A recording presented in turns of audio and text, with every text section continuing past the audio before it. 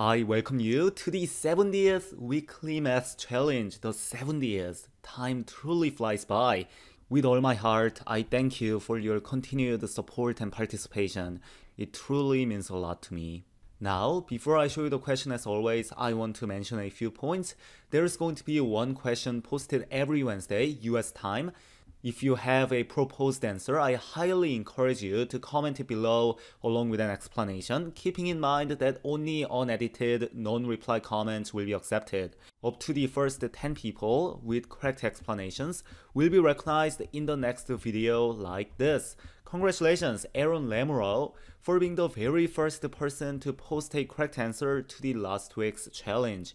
For this week, we have four more people to recognize. Congratulations, Max Haibara, Adam Depp, Alex Edward. Congratulations, MST Mar. A huge shout out to every single one. Now let's get to this week's challenge. Given that x and y are real numbers between 0 and 1 exclusive, solve the following system of equations. And the first equation is 1 minus square root of 1 minus x squared over x plus 2i over 1 plus square root of 1 minus y squared plus y is 1.